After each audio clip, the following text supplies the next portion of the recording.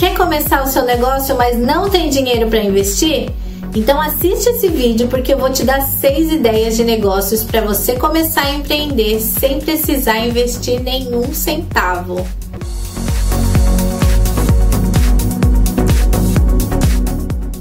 Se você ainda não é inscrito no canal, aproveita para se inscrever agora e ativa o sininho para receber uma notificação toda vez que tiver um vídeo novo aqui no canal. Começar um negócio do zero sem investir dinheiro é difícil, mas não é impossível. Se você não vai investir dinheiro para começar o seu negócio, principalmente se você vai iniciar esse negócio sozinho, você vai precisar investir o seu tempo para planejar, para desenvolver o seu projeto, para divulgar o seu negócio, até que ele comece a gerar os primeiros frutos até que você consiga ter os primeiros ganhos com o seu negócio. E depois você pode começar a investir o dinheiro que você ganha para automatizar ou pagar alguém para fazer essas coisas para você, enquanto você se ocupa em fazer mais coisas para expandir o seu negócio e ter mais lucros. E a primeira ideia é criar um e-commerce com estoque terceirizado. Pode criar uma loja virtual, um e-commerce e usar um estoque terceirizado, ou seja, você encontra um fornecedor que faça esse serviço e tenha os produtos que você quer vender no seu e-commerce. Você faz o trabalho de divulgação dos produtos pra, nas suas redes de contato, nas redes sociais, faz esse trabalho de divulgação e de captação de clientes e quando alguém comprar um produto na sua loja, o pedido é enviado diretamente para o sistema do fornecedor e ele fica responsável por separar o pedido, controlar o estoque dos produtos e, por fim, enviar a mercadoria para o seu cliente sem se identificar. É como se sua loja virtual tivesse feito todo o processo sem você precisar investir nenhum dinheiro nesse processo, porque você não vai gastar dinheiro comprando mercadoria para revender e depois correr o risco de não vender aquele produto e ter prejuízo. Não vai ter o risco de gastar dinheiro armazenando estoque e nem vai gastar nada com as entregas. Você só vai repassar uma taxa já pré-estabelecida pelo seu fornecedor por produto vendido com o valor que seu cliente pagou. Então, se você não sabe criar um e-commerce, uma loja virtual, a eBanks oferece um sistema simples para você conseguir montar seu primeiro e-commerce gratuitamente. Ela só fica com uma taxa de 4,9% sobre cada transação confirmada. A Shopify oferece a plataforma deles de graça por 90 dias, sem precisar fornecer os dados do seu cartão de crédito para você fazer um teste. Outras plataformas como Loja Integrada, Magazine Luiza e Olist oferecem serviços parecidos. A segunda opção é desenvolver aplicativos. Se você já tem conhecimento em programação ou tem disposição e facilidade para aprender, esse pode ser um negócio bastante lucrativo. A concorrência desse mercado é grande, tá?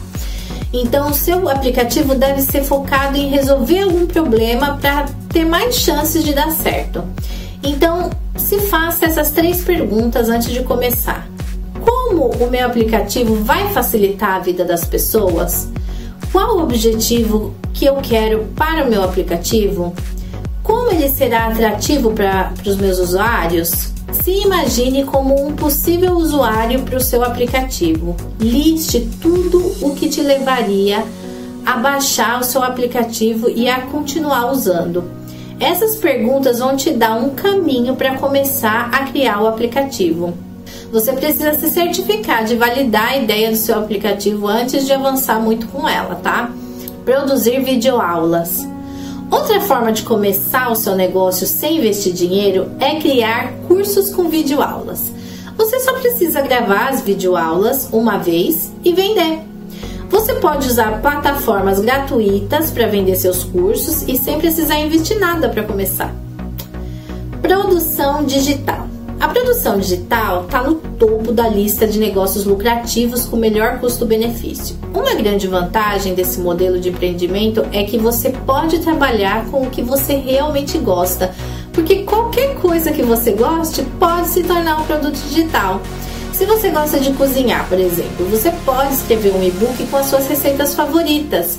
Se você toca guitarra, você pode gravar lições ensinando a tocar o um instrumento e criar um curso online.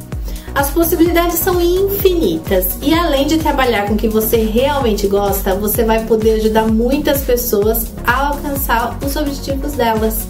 Outro ponto positivo é que os produtos digitais permitem que o seu negócio chegue a qualquer lugar do mundo, o que aumenta as chances de sucesso e te faz chegar ainda mais longe.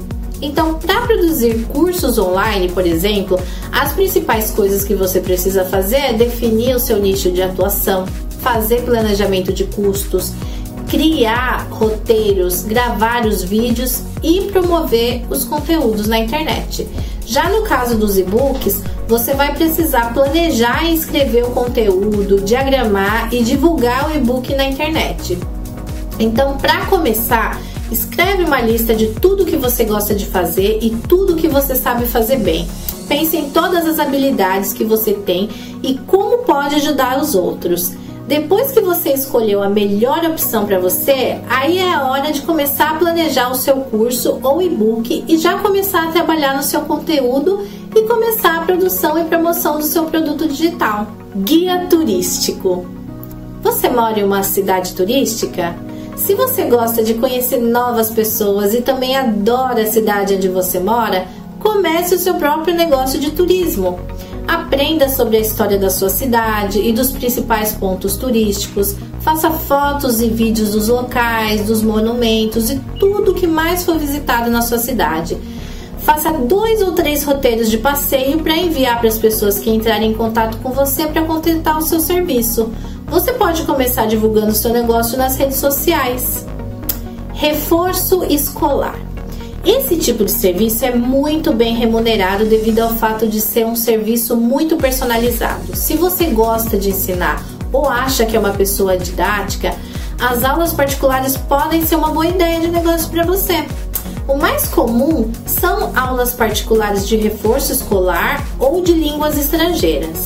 Pense sobre o que você se daria bem ensinando e divulgue seus serviços nas saídas de escolas, cursinhos e nas redes sociais.